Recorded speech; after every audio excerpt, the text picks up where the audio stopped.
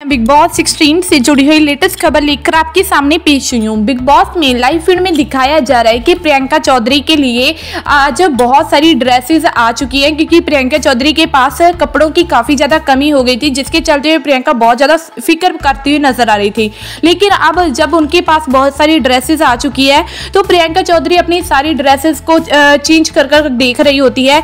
तभी पहले तो जो शिव ठाकरे है, वो गार्डन एरिया को साफ़ कर रही होती है और वो शीशे में से देख रहे होते हैं। लेकिन जब प्रियंका चौधरी बार बार ड्रेसेस चेंज कर रही होती है बार बार अपने आप को देख रही होती है, तब शिव ठाकरे अपना काम छोड़कर आकर वो सिर्फ़ वॉशरूम एरिया में बैठ जाते हैं और वो प्रियंका चौधरी की हर ड्रेस को नोट कर रहे होते हैं। उन पर कोई कॉम्प्लीमेंट तो नहीं करते, लेकिन जो प्रियंका चौधरी लास्ट में ड्रेस पाकर आती है, उसे देखकर खुश बहुत हो जाती हैं। ऐसा लग रहा है कि शिव ठाकरे को भी प्रियंका चौधरी की ड्रेसेस बहुत ज़्यादा अच्छी लग रही है।